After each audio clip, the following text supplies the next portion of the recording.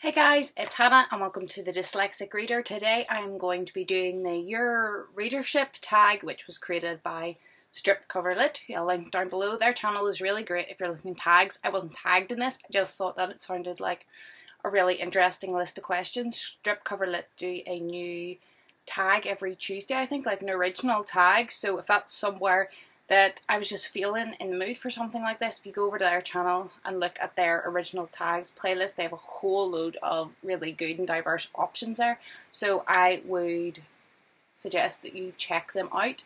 I'm just going to jump right in. So this tag's all about like you as a reader and how you got there and like what it means to you and all that kind of stuff. But we'll see as we progress along.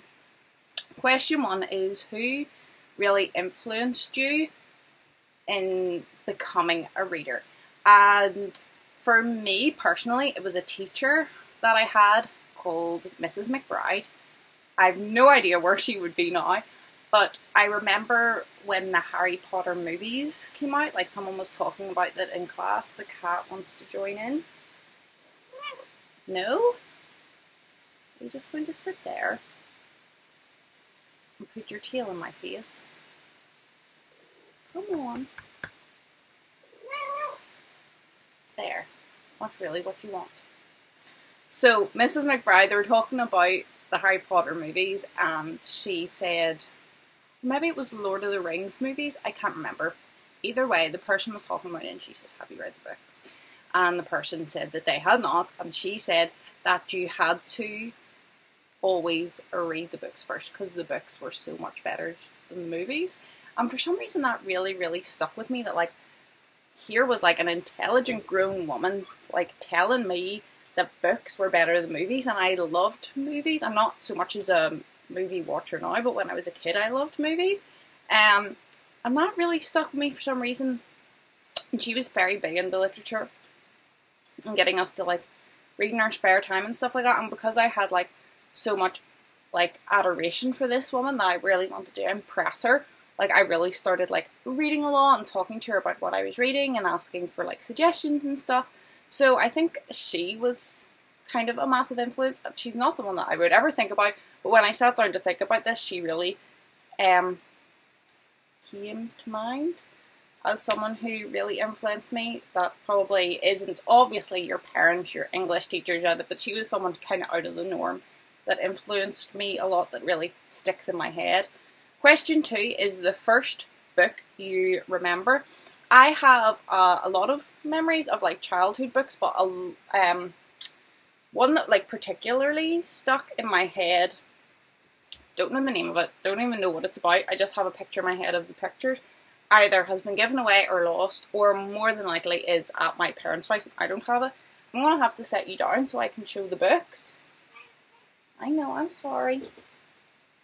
Um, but two that I had here that I remember from when I was really little was Morris Mouse and Bobby Bear. They're obviously from the same, yeah, created by Maurice Pledger. They're from the same kind of series.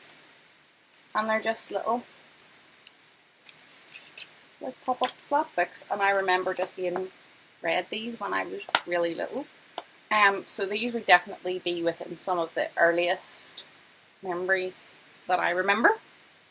Number three is the first book that really impacted you. And for that I have The Hobbit, but not the, um, this is the graphic novel version of The Hobbit. And for some reason, my dad doesn't even remember this, but I remember my dad is also dyslexic, the same as me, as is my brother. But my dad would probably be the worst affected out of us. His reading and writing is very poor. And for some reason, I remember him reading me this, and I suppose he read it to me because it was a good, kind of more grown up story, but there wasn't a whole lot of text. It relied heavily on pictures, and what text there was was dialogue, which is easier to read. Um, and I remember for a period of time us maybe doing 10 minutes before bed or something, just a couple pages, whatever, and like making our way through the book. my dad doesn't even remember reading this to me, but for some reason it really like stuck in my head, and I used to like during the day, you know, go back and look at the pictures of like what we had already read, and I was like so invested in finding out the story.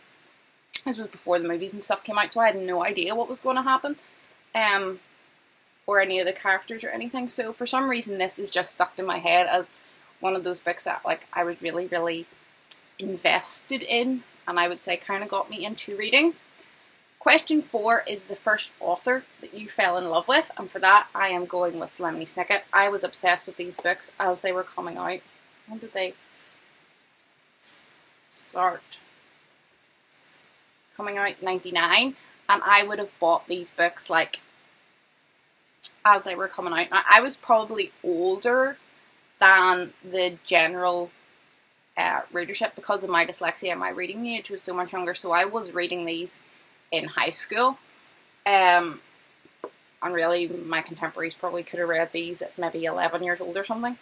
And that's the kind of age. But I was so invested in this world, and like my wee brother used to tell him about like what was happening in the books, and I was so excited and like all about like the mysteries and the secret societies, and we would like play games where we would like I would say like he was part of the secret society, and I would use the background from this to apply to him and like tell him he was in the secret society and give him wee missions and things to do.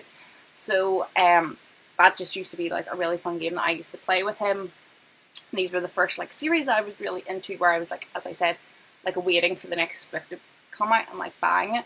Um, actually, I have all the UK hardbacks apart from the final book, which I have an American hardback because I was on holiday when it came out and I couldn't even wait to get home. I had to buy the final book and finish the series. So like all my series 12 match and then the last one is just a completely different edition. Um, but I don't care. I kind of love that. But like Lemony Snicket, I really, really was engrossed in. Number five, what book is on your TBR the longest? I don't really do a TBR. I have obviously all the books on my shelf that are unread. I'm I'm planning to read, but I'm very much a mood reader. Like I could get rid of some of these books before I read them because they'll just go out of the notion. Um, I get like 90% of my books from the library anyway, and that's all just like what I'm fancying. You're gonna have to move because you're creeping me out because you're moving weirdly. Don't come back. She's really acting weird today. I don't know what's wrong with her. But um yeah, so I don't really have like a TBR. I just obviously plan to read my unread books and that's about it. But one series that I have been meaning, I have the whole series and I've been meaning to get to for ages is The Chronicles of Prydain by Lloyd Alexander. This is like a kids fantasy series that I've been meaning to get to probably for about two or three years. I've owned the whole series.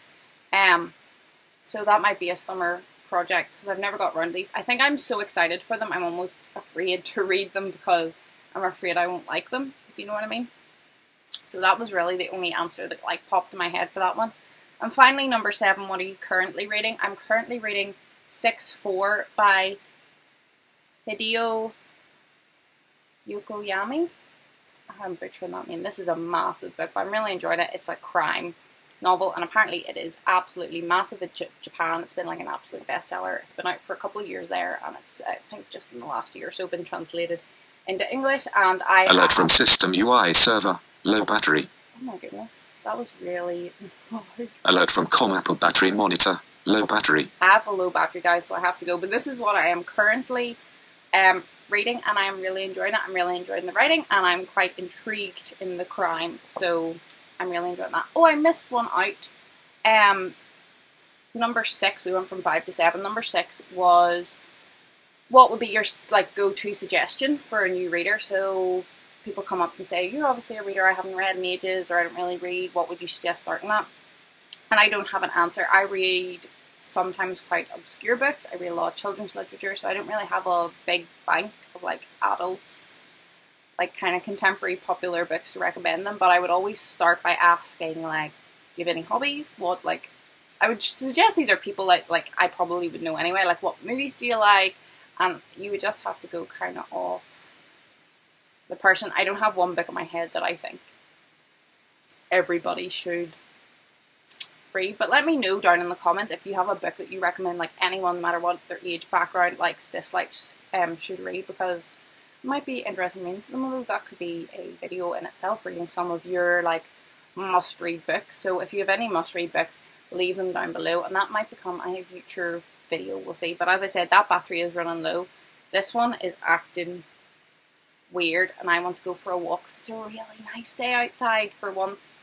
In Northern Ireland, we have sunshine, so I'm going to go and enjoy that for a little while before I have to get ready for work. So I hope you're all happy. I hope you're all healthy, and hopefully, I'll see you in my next video. Goodbye.